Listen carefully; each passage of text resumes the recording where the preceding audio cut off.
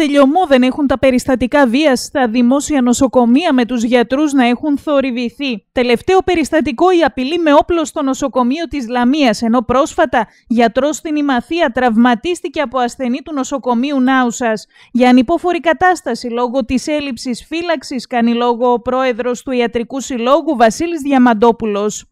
Εξέτασε το παιδί του ε, αλλοδαπού που προσήλθε στο νοσοκομείο Όλα πήγαν καλά.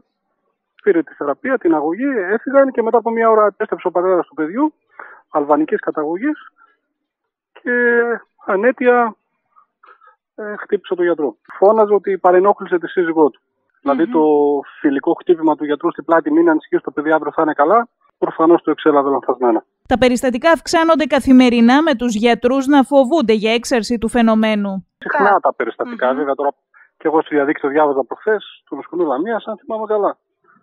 Κάποιος έβγαλε όπλο στον αξονικό τομογράφο. Ο γι' αυτό λέμε ότι καλούμε το Υπουργείο Υγείας να διαθέσει τα απαιτούμενα κονδύλια, ούτως ώστε να υπάρξει 24 ώρη φύλαξη στα νοσοκομεία και στα κέντρα υγείας, αν την επικράτεια. Για το συγκεκριμένο νοσοκομείο, τι εικόνα έχουμε, τι γίνεται με το προσωπικό; Το προσωπικό είναι ελλειπές και καταβάλει υπεράνθρωπες προσπάθειες για να εξυπηρετήσει τον κόσμο.